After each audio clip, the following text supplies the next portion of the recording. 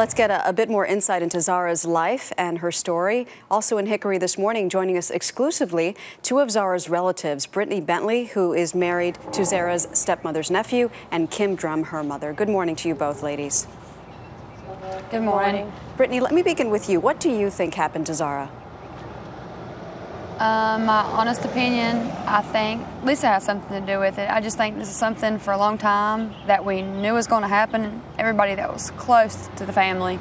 Um, okay, let's let's tell we, our viewers. I'm sorry to interrupt, but I just want to make sure our viewers follow the story. Lisa is Zahra's stepmother, and you are married to Lisa's nephew, and say that you saw them frequently. What makes you think that she would harm Zahra? Um, just from the times I went over there, um, the environment Zahra lived in, she was locked in her room, allowed five minutes out a day to eat. That was it. Um, she was beat almost every time I was over there for just, just the smallest things. Uh, if Lisa would get mad, she would take it out on Zahra. Things the kid didn't deserve. Um, she just had a horrible home life. Um, she had a, one time I remember she uh, had a black eye, and she said it was from the door, but we all knew it. You know, we suspected it was from Lisa. So Yes.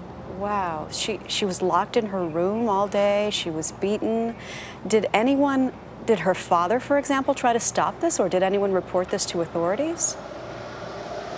That's the crazy thing. Uh, I never saw Adam like spank her, punish her, do anything, but he would sit there and watch Lisa do it to his child. He would just sit there and not say anything.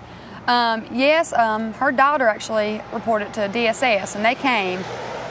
I don't know how much was done, but yes, it was reported. Hmm. So.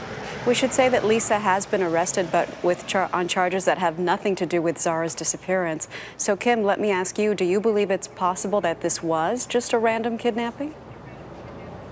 No, I knew it from the moment my father had called and told me this is this is Lisa. They found, uh, authorities say that they found Zahra's hearing aids in the home, but they didn't say anything about her prosthetic leg. What does that tell you, Kim? Do you find that unusual? That's, that's what completely made it unusual to me. Zahra, when she spent the night with us, and she stayed with us a lot, um, an hour before she would go to bed, she would put her pajamas on, always take her leg off. It was just, it was a routine for her. She, she never ever went to bed with her leg on. I, I can't imagine what it must have been like for a child to endure, if she did endure what you say she went through, plus have this bone cancer that has robbed her of her hearing and a leg. How did she handle her disabilities, Brittany? Was she kind of a, a, a miserable child or was she a happy child despite of this? Oh no, she was a happy child. Um, you know, I remember she uh, she could walk walk on one leg faster than you know we could walk on two legs. She was a she was an amazing child. She was never angry, depressed, always happy, always loving, which I didn't understand. Only time I ever saw any anger in her is when she'd come stay with us on the weekends.